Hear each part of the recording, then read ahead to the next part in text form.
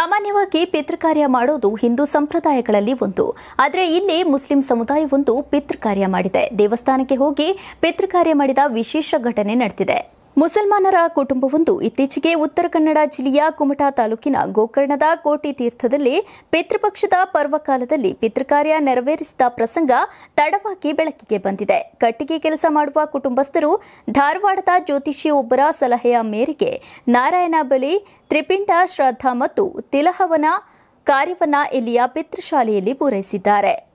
ಧಾರವಾಡದ ಧಾನೇಶ್ವರಿ ನಗರದ ಶಂಸಾದ್ ಕುಟುಂಬವು ಮೊದಲಿನಿಂದಲೂ ಕುಂಡಲಿ ಜಾತಕ ಹಿಂದೂ ಸಂಪ್ರದಾಯದ ಮೇಲೆ ನಂಬಿಕೆ ಉಳ್ಳವರಾಗಿದ್ದಾರೆ. ಹೀಗಾಗಿ ಮೊದಲಿನಿಂದಲೂ ಹಿಂದೂ ಸಂಪ್ರದಾಯಗಳನ್ನು ಚಾಚೂ ತಪ್ಪದೆ ಪಾಲನೆ ಮಾಡುತ್ತಾ ಬಂದಿದ್ದಾರೆ. ಇನ್ನು ಗದಗಿನ ವೀರನಾರಾಯಣ ದೇವಸ್ಥಾನದ ಹತ್ತಿರ ಬ್ರಾಹ್ಮಣ ಮತ್ತು ಲಿಂಗಾಯತ ಸಮುದಾಯದವರ ಜೊತೆಯಲ್ಲಿಯೇ ಈ ಕುಟುಂಬ ಹೆಚ್ಚು ಒಡನಾಟ ಇಟ್ಟುಕೊಂಡು ಬೆಳೆದು ಬಂದಿದೆಯಂತೆ.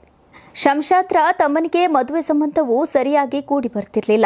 ಹೆಣ್ಣು ಸಿಕ್ಕಿಲ್ಲ ಅಂತ ಜ್ಯೋತಿಷಿಯ ಮೊರೆ ಹೋಗಿದ್ರಂತೆ. ಆಗ ಅವರು ಶಂಶಾದ್ರ ಅಜ್ಜ ಹುಸೇನ್ ಸಾಬ್ ಸತ್ತು ಹಲವು ವರ್ಷಗಳಾದರೂ ಅವರ ಆತ್ಮಕ್ಕೆ ಇನ್ನೂ ಶಾಂತಿ ಸಿಕ್ಕಿಲ್ಲ. ಹೀಗಾಗಿ ನಿಮ್ಮ ಕುಟುಂಬಕ್ಕೆ ಅದರ ಕಾಟ ಶುರುವಾಗಿದೆ. ನೀವು ಪಿತೃಪಿಂಡ ಕಾರ್ಯ ಮಾಡಿ ಅಂತ ತಿಳಿಸಿದ್ರಂತೆ. ಅವರ ಸಲಹೆಯಂತೆ ನಡೆದು ತಮ್ಮನ ಮದುವೆ ಮಾನಸಿಕ ಶಾಂತಿ ಹಾಗೂ ಉದ್ಯೋಗದಲ್ಲಿ ಏಳಿಗೆ ಸಿಗಲಿ ಎಂಬ ಉದ್ದೇಶದಿಂದ ಈ ಕಾರ್ಯ ಮಾಡಿದ್ದೇವೆ ಎಂದು ಶಂಷಾದ್ ಹೇಳಿದ್ದಾರೆ.